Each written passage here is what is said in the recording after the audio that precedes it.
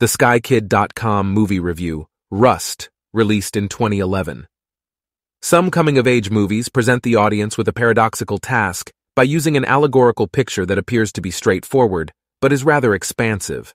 This is the case with the Italian coming-of-age drama Rust, original title, Ruggine, directed by Daniele Gaglianone in 2011.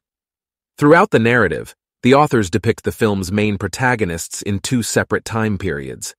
First, a look back at numerous days of their youth, and then second, a day from their adult life, revealing how the aforementioned occurrences influenced their lives. It seems that none of them is able to make the transition from childhood to maturity successfully. They have outgrown the role of children, but they are unable to fulfill the responsibilities associated with adulthood. Evil and violence wear down the human spirit, and in particular, the innocence of young children leaving behind profound wounds and scars that can never be completely healed. The story of Rust is a macabre fairy tale that takes the reader on a trip into the shadows, as seen through the eyes of a few youngsters. It collides with harsh reality by depicting a real ogre, the legendary ominous guy with a black soul who truly exists and stalks his prey.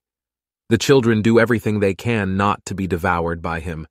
Due to the overall visual and atmospheric features, and the fact that here we have a fight between two opposing gangs of youngsters, the first few minutes of Rust are reminiscent of the play War of the Buttons, released in 1994. Regarding how youthful innocence and its eventual loss are represented on screen, aficionados of the coming-of-age genre will recognize comparable plot structures, such as those in Philip Ridley's drama Reflecting Skin, and potentially even in Lasse Hallström's My Life as a Dog. However, Rust stands out with its intricate and nuanced character connections. The viewer's ability to read the subtext and figure out what the author is getting at without explicitly saying it is a source of entertainment in Rust. Even if the plot's framework is rather complicated, most viewers will have little trouble understanding the themes present in the narrative. The painfully sluggish plot growth is made up for in the movie's second half when individuals and events start to tie together.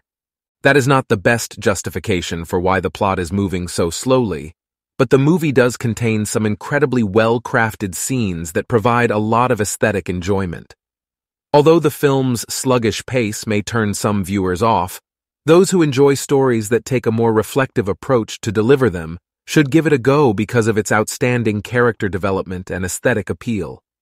Rust is worth seeing, but you must pay attention. Be conscious that this is not the kind of movie that allows you to kick back and unwind while you watch it. Instead, it requires you to work with both your mind and your soul as you watch it. As the credits rolled, I understood the story's subtle nuances. In a peculiar state of mind brought on by the events on screen, no one should doubt that the movie's impact on its viewers is significant if they give the story a chance. You can find the entire review of Rust in writing at theskykid.com.